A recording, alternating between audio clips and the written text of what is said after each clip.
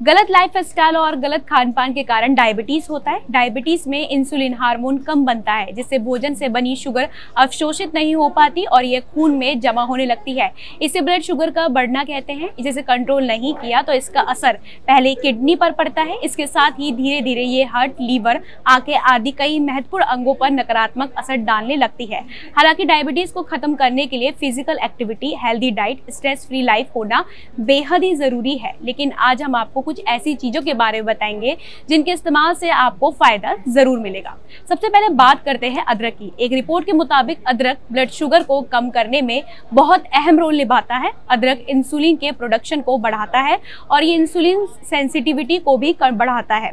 इससे blood sugar control रहता है। आप नियमित रूप से अदरक की चाय का भी सेवन कर सकते हैं। अब बात करते हैं मेथी के दाने के बारे में। मेथी के दाने एंटीबायोटिक होता है। मेथी में एमिनो एसिड होता है तो पेट में शुगर का पाचन बहुत धीरे होने देता है। कई रिसर्च के मुताबिक मेथी के दाने ब्लड शुगर को कम करने में मदद करता है।